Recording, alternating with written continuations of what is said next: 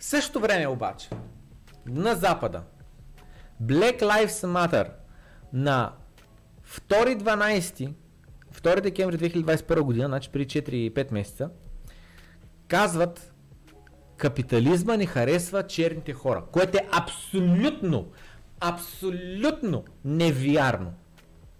Капитализма ни харесва чер, черните хора. Добре е, добре, имам следния въпрос. Аз съм собственик на бизнес. Аз трябва да плащам заплати. И пример, абсолютно пример. Белите искат да бачкат за 1000 лева заплата. Черните искат да бачкат и примерно те могат да свършат същата работа за 900 лева. Смяташ, че няма да го наема? За 950 лева. Смяташ, че няма да го наема? Ще спестя 50 лева. Това е разход. Е така Джордан Питърсън говори за това за мъже срещу жени, че е абсурдно да кажеш, че мъжете, разбираш ли, вземали по-често по-високи позиции, не знам си какво, само защото са мъже. Ми, не брат. Други са причините. Мисъл, пак е обвързан с пола, но не е до това, че са мразят жените или че се смятат, че са по-слаби във вид на вършена работа и така нататък. Не е до това. Просто много по-често жената предпочита семейството пред кариерата. Това е главната причина. На много високи постове много често е нужно да правиш много овертайм. Много жени не са готови да направят нужния овертайм, за да запазят тази позиция. Заради това биват сменени от мъже. Това е причината. Обикновено са някакви жени, които са без семейство или с кофти, нали, как да кажа, м- където кариерата им на първо място и така нататък. Такива жени единствено вземат такива високи постове. Та, капитализма не харесва от черните хора. В същото време обаче, тая организация е използвала дарени пари, за да закупи за 6 милиона долара имение в Южна Калифорния. И ето е стацията от The New York Post. Black Lives Matter използват донации за 600 милиона долара, за да купят в Южна Калифорния а, дом. Използвали са пари от дарения, така, така, така, така. Техните лидери а, на тази, а, а, това движение за социална несправедливост тайничко са купили един дом, който а, когато правят първата си годишнина, откакто Джордж Фойт е бил убит.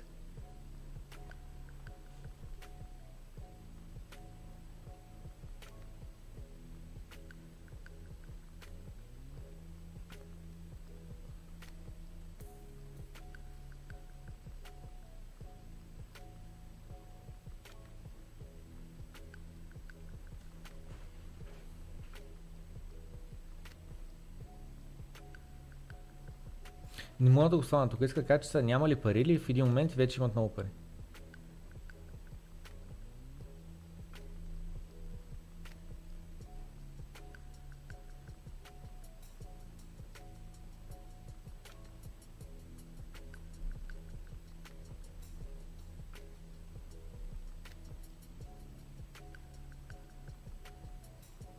What the hell? Някакви домове, там където Tiger Woods и Justin Timberlake имат домове, което е супер ексклюзив ерия.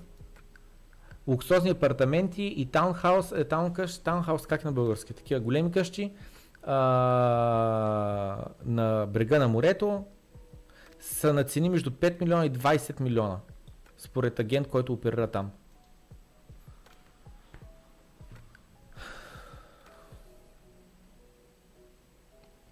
И те как защитават тяхната покупка? Това е, защото сме силни. Защото ние печелим. И това е чисто и просто една медийна атака срещу нашата организация. Това е защото ние заплашваме лошите белчовци, които са отгоре на власт. Заплашваме ги тях. И заради това те в момента под погрешния ъгъл представят нещата, че ние с пари от донации сме закупили имот за 6, 6 милиона долара. Човек, защо ти е имот за 6 милиона долара, бе? Ако не е с корупция, просто ти я се възползваш от имота и да си живееш някакъв супер луксозен квартал. Но в същото време те не са били разкрили никакви детайли за, този, тази покупка, където има 6 а, такива но, а, спални, камина, а, такова басейн, паркинг за 20 коли и не знам с какво. А, самият имот е бил купен октомври 2020 година с парите, които са били дарени на Black Lives Matter Global Network Foundation според този репорт. 7 спалната, спалния имот е закупен от мъж на име Диане Паскал, Диен Паскал, както и е, две седмици след като Black Lives Matter, GON NF, GNF какво е, са получили 60, 66 милиона долара от спонсорите си по-рано този месец. Боже мой!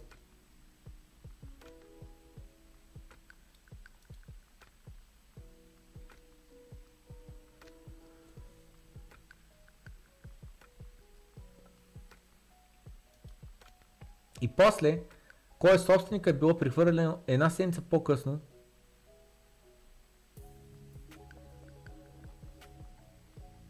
По начин по който да не се знае кой е новия собственик, нещо такова.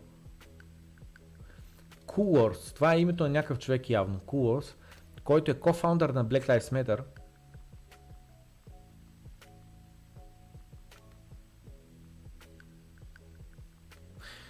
е бил критикуван за това, че е купувал нали, три имота в Лос Анджелис, както и извън Атланта. И не знам с кой, не знам с кой. Организацията се е опитала да спре историята за родиш, да не става популярна.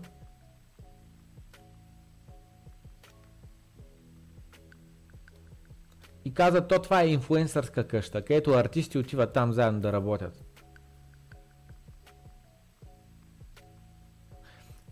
Самата къща била купена с цел да бъде студио. Човек, трябва ли ти студио за 6 милиона? За да можеш да правиш подкасти. И разбираш ли, след това те казват, ама ние, ние като цяло, ние мислихме, мислихме да кажем, че сме го купили този мод, нищо, че минаха вече две години без да го кажем. И този имот, никой не живее в него реално. Ми за си купихте тогава, бе? 6 милиона.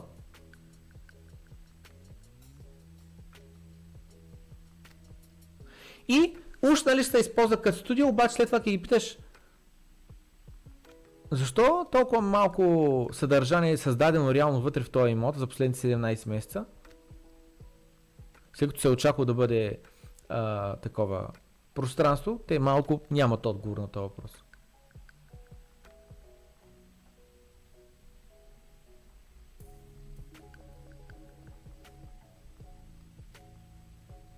И тук е това видео записано вътре в този имот.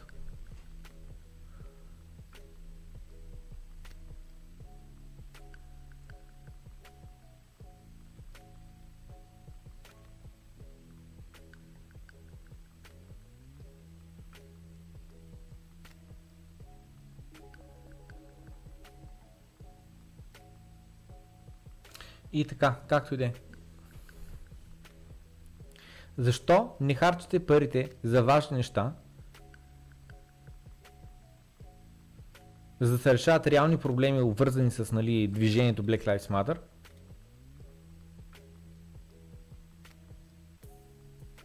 Организацията винаги е планирала да се съобщи за тая покупка на 15 май ще ли да заявят, разбираш ли?